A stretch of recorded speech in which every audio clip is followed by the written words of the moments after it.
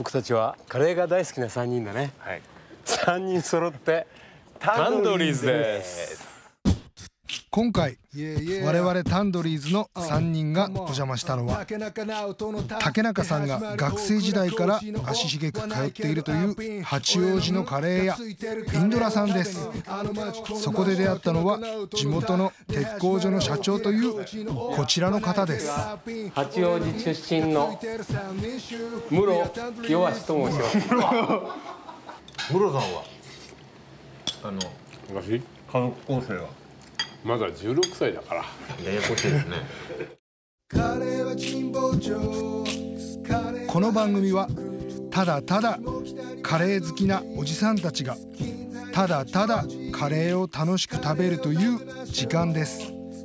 その名もそう。タンドリーズです。タンドリーズ。竹中君はね竹中君から聞いた話だけどね大倉君とその何年か45年ぐらい前の映画でね船を舞台にした映画があったんだよね、そこで2人で泥棒の役をやったそうなんだよ。で1週間ぐらい船に毎日乗り続けててねその船にはイタリア料理からね台湾料理中中華日本食とかベトナム料理とかいろいろありましたけどもね彼は竹中君とカレー料理ばっかり食べていたらしいよ。1週間ずっと朝昼晩。そんなカレーが大好き。大好きだすごい知ってますねやっぱ室さんは。聞いたんだよ竹中君から。素晴らしい、結構年の差あるんですよ、毎日2人でカレー食べてましたね、ねえ。私にねって言われても私は知らないから。そうですそうです。そういうふうに聞いてるよ。もそういうふうに聞いてるうよそうです。僕そうなんそうだったんです、いつから好きなんですかカレー大倉さんは？もう気がついた時からら。ずっと好きです。カレーしか食べないです。まあの自分から率先して何かを食べるとしたらカレー。カレーか富士そばしかない。です富士そば。初めて出会ったのはどこかな？富士そばですかそんなの普通覚えてるでしょ。私はこのお店に初めて出会った時のこと覚えてますよ。でも富士そばですよ。どの富士そばに最初に行ったかですか？で私はどのうどんに行ったか何覚えてますよ。私のことはいいけどねえじゃあじゃあじゃあね私はたまたまこの店にいただけのものですから。室さんは。私は初めてうどんっていうのを知ったのはまるちゃんのカレーうどんですよ。うどんですよ。あなたが富士そばですよというように。うどん？それまでうどんを食ったことがないんだよ。人をバカにしやがって。うどんはないよ。うどん食ったことないないんだよ。だから小学生の時にまるちゃんのカレーうどんあったんだよ私が小学生の時から。そんな人います？でこんな太いのはこれラーメンじゃねえんだなって。ラーメンは子供の時から知ってるよ、えー。でも同じ頃にうどんがインスタントのうどんがあったんだよ。そうめんはどうですか？そうめん。そういうの知らないね。そんな勝手に揃ってないから。ごめんなさいちょっと踏み入ったいやいいんだよ。踏み入ってちょっとねそんな話はね。私は今こなんかなんだか知らないかカメ撮影なんでしょ？撮影なんです。私はたまたま来たお客さんですからそれ以上のことは言いませんけどね。すごい撮らせてもらっちゃって大丈夫ですか？私は構わないよ。大丈夫ですか？ただ別れた女房がね見てたらちょっと困るなって。これ後からいろいろ言われると大変なんであの今ね大丈夫ですか室さん？カメラ常雄常雄常雄もし見てたらね。そういうんじゃないんですこれ。私はね今八王子にいるよ。常雄あれもともといたんじゃないんですか？あのね私はテレビを通してねそんなことを私は言うつもりがないから。あなたらねあんたらみたいなわけのわかんない俳優さんだかミュージシャンだかわかんない人たちとねこうやって今勝手に私が一人で食べようと思ったらせっかくいらっしゃったから受け入れ体制に入ってるんだよ。申し訳なかったですそれは。私のこの過去をほじくり出すようなことはやめてくれ。とにかくうんまあ。んた最初に楽しい話をしようって言ったんじゃないのか？あすいません来ました。来た。あんたが食べたいと言ってた。これが。うわよこしちらの人参サラダをお好みで上からおかけして。上からかけるんだ。うまいこれ。よかったうん。こんなに喜んでくれるとはね。純子さんね竹中君の話によると大倉君は部屋中にスパイスがあるらしいですよ。そうなんです。好きなんですか好きなんですよえじゃあご自分でも作られる？えはい。そうなんです。初めてね竹中君がなんか大倉君と仲良かった時期にね。時期にカレー屋さんに連れて行きたい連れて行きたいって言ってやっとなんかね念願が叶うって言ってたんですけどね。帰っちゃったんですよ竹中君。竹中君帰っちゃった。何が気に入らなかったんですかね私も分かんない。なんか魚臭い男がいたからじゃない。俺のせいじゃないんじゃないですか、アービンさん。さあさあこれも召し上がれ。マトンですか？マトンも。ちょっとご飯余ってるから。いただきます。うん？また全然違う。優しさがあるね。これで一通り出たということかな？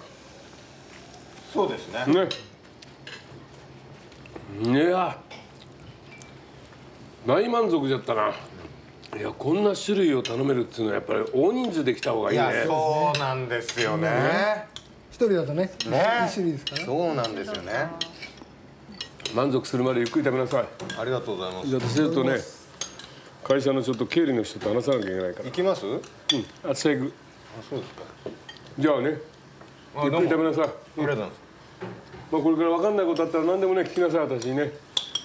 さあ何でも相談乗ってあげるから。ちょっと待ってくださ今日名刺忘れちゃったから。はい。これ名刺の代わりに。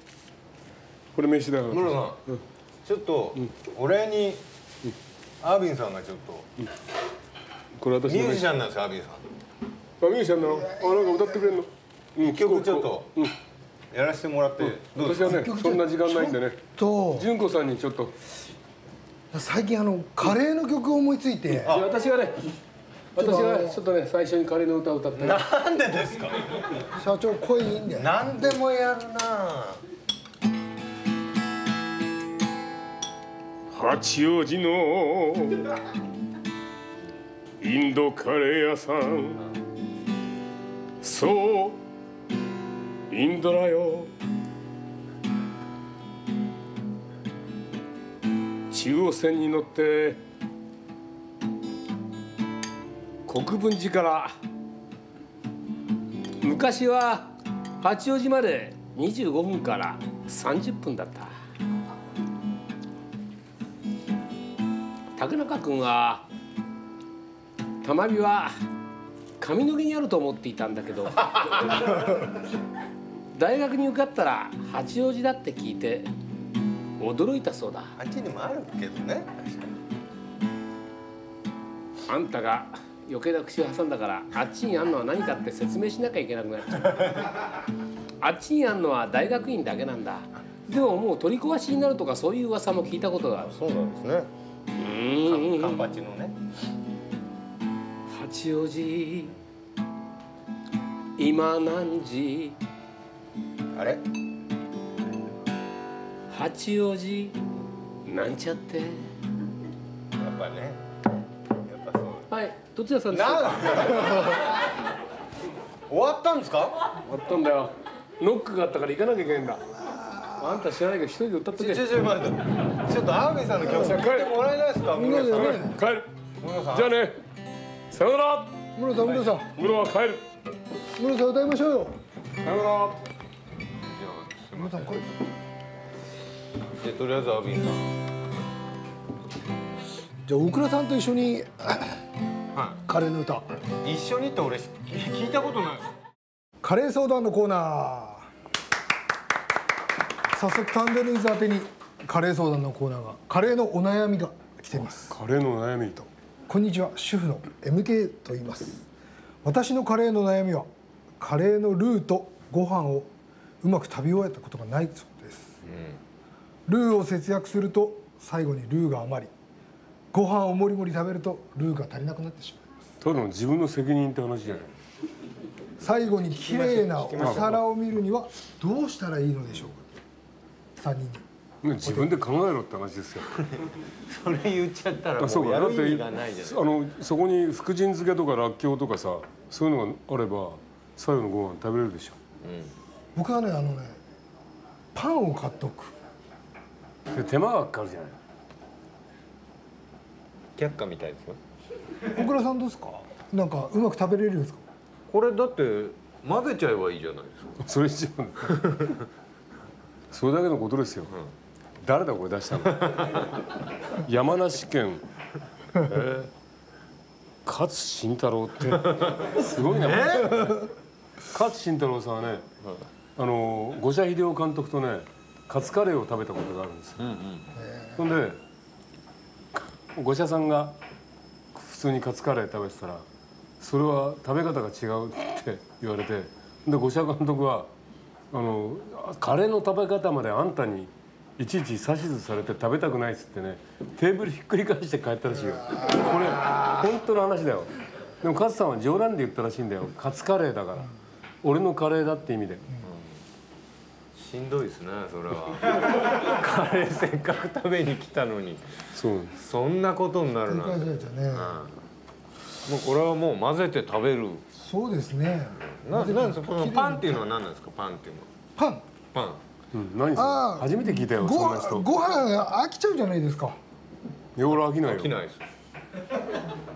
ご飯飽きちゃうじゃないですか。いや飽きないよ。飽きないですあんたおかしいよ。いやパン買いまパン買ってきて。さよなら。カレーを食べましょう。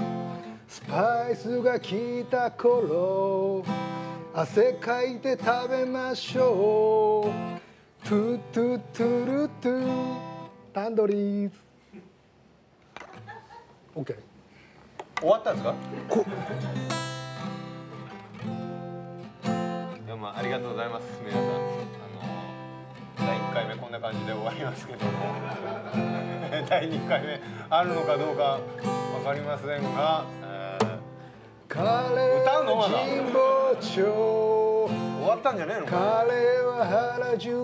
どうもありがとうございました。下北に丸の内。とっても美味しかったです銀座に八王子カレーは神保町カレーは原宿いや楽しかったね。本当に。